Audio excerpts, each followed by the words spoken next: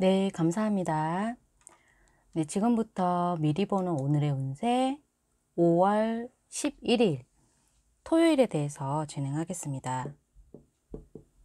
2019년 5월 11일 토요일입니다.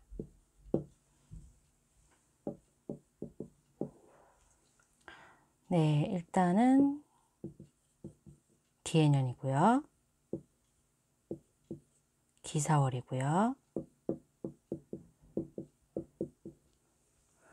무신일이 되겠습니다.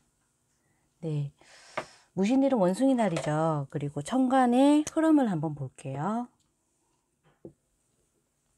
오늘은 음량이 달라서 겁재가 두 개 다 떴고요. 그리고 얘는 편제가 되고 편인이 되고 식신이 되는데 흐름에 따라서 절지 그리고 사화니까 관대가 되겠네요. 그리고 무토는 원숭이에서 병드니까 병지. 네, 전체적인 흐름을 한번 볼게요. 일단 어, 겁재성이 차례대로 지금 사회충이라고 하는 환경에 들어오기 때문에 음, 절지와 관대가 동시에 지금 이렇게 에너지가 편하지 않은 자리로 와 있습니다. 일단 절지와 관대가 함께 와 있기 때문에 음, 기존의 인연이 끊어지고 그리고 새로운 인연이 들어올 수가 있다라는 그런 큰 흐름이 일단 우선 있고요. 그리고 관대지기 때문에 주말에 내가 어, 당직 근무를 하시는 분들 같은 경우는 실수를 조금 조심하셔야 돼요. 실수. 그리고 이 실수가 그냥 실수로 굳혀지는 게 아니라 어떤 구설수가 좀 오갈 수 있습니다. 충돌을 할 수 있는 그런 흐름이 되겠고요. 음, 현재 또 원숭이 날에 이 무토가 깔아앉기 때문에 병지에 오게 되면은 많이 외로운 날이 될 수 있어요.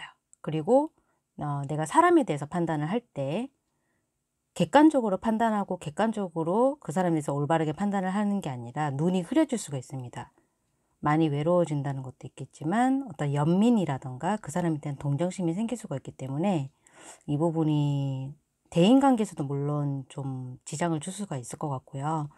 어, 토요일 주말이라서 출근하시는 분들은 적을 것 같은데 혹시라도 출근을 하시게 된다면 아, 내 능력이 여기까지밖에 안 되나? 라는 좌절감을 좀 맛볼 수가 있는 그런 하루가 되겠습니다. 아무도 챙겨주지를 않아요.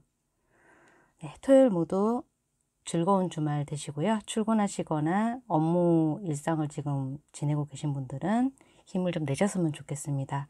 기사월이 힘든 달들이 좀 있으세요. 예, 저, 제가 지금 올리는 일진 자체가 공통일진이기 때문에 띠별 운세 절대 아닙니다. 개개인마다 다를 수 있어요.